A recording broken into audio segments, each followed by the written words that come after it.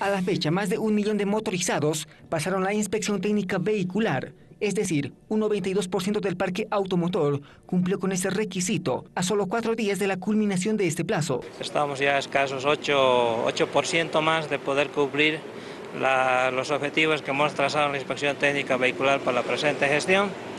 Eh, de acuerdo a lo programado, este sábado 8 termina la inspección técnica vehicular, eh, no hay más prórroga. Una vez culminado el plazo, iniciarán los controles. La policía prevé incrementar el costo de las multas por incumplir con la inspección. Es un plazo fatal y a partir del día eh, del próximo día, lunes 10 de diciembre, prácticamente ya eh, se habilita también la inspección técnica vehicular, para, pero ya con la aplicación de una multa que establece la ley. Estamos haciendo una evaluación al respecto, probablemente suba la multa, y eso vamos a comunicar inmediatamente ya se haya concretado aquello. La inspección inició el 24 de agosto de esta gestión, habilitando 154 puntos fijos y 35 móviles. La policía descarta la ampliación para este registro.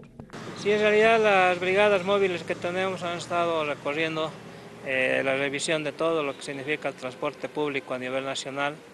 También el resultado ya es óptimo, prácticamente faltaría en relación a los vehículos públicos solamente un